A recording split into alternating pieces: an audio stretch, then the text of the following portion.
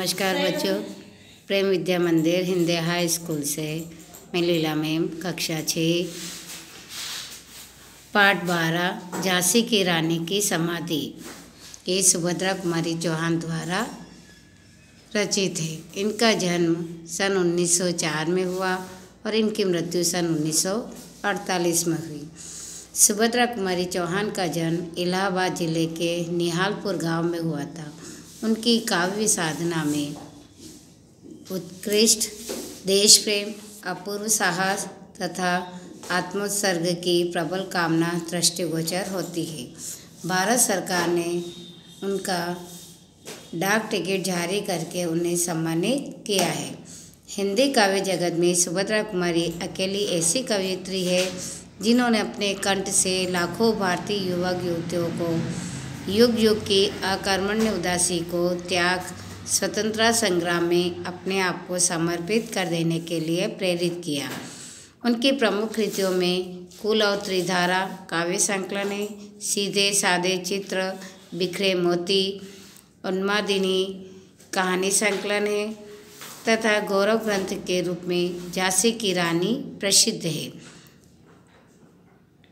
झांसी की रानी लक्ष्मीबाई भारत के प्रथम स्वतंत्रता संग्राम की अमर सेनानी रही है। कवियत्री ने उन्हीं की समाधि पर अपने स्नेह और श्रद्धा के पुष्प अर्पित किए हैं। उनकी यह समाधि हमारे स्वाधीनता संघर्ष का प्रेरक बल बनी और समाधि में छिपी उनकी राख की ढेरी में भारत की आज़ादी की चिंगारी को देखा है। तो इस तरह सुभद्रा कुमारी चौहान झांसी की रानी के बारे में, उनकी समाधि के बारे में बता रही है। इस समाधि में छिपी हुई है एक राख की ढेरी जलकर जिसने स्वतंत्रता की दिव्य आरती फेरी।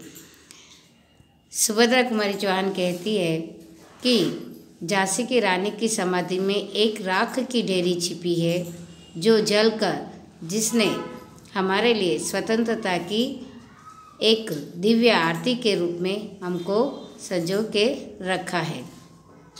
यह समाधि, यह लघु समाधि है, झांसी की, रानी की, अंतिम लीला स्थली यही है लक्ष्मी मर्दानी की। तो कवित्री कहते हैं कि समाधि, ये भली एक छोटी समाधि है और ये झांसी की, रानी की समाधि है, लेकिन इनकी अंतिम जो स्थल था, वो यही है, ये मर्दों की तरह लड़ी है इसीलिए इनको मर्दानी कहा गया है। यहीं कहीं पर बिखर गई वह भग्न विजय माला से, उसके पुलिया संचित है यह स्मृति शाला सी। तो यहाँ लड़ते लड़ते यहीं पर इनकी शव शव बिखर गया और उनकी एक जो विजय माला थी उनके, वो यहीं बिखर गई। उनके फूल यानी उनकी अस्थियाँ या संचित है और एक स्मृति इनकी यहाँ समाधि के रूप में बनी हुई है। सहे वार पर वार अंत तक लड़ी वीर बाला से, आहुति से गिर चढ़ी, चीता पर चमक उठी ज्वाला से।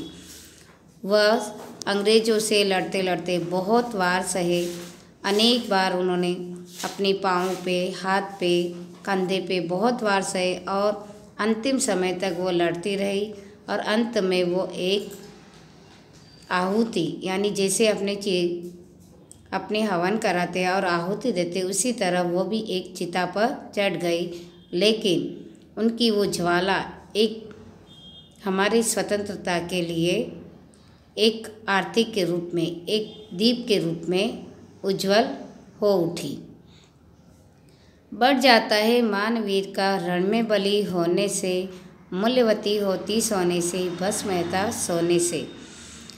शहीद जब कोई मरते, जब कोई मरता है, लेकिन वो युद्ध में, युद्ध करते हुए रण में मर जाता है तो उसका मान और अधिक बढ़ जाता है और उनके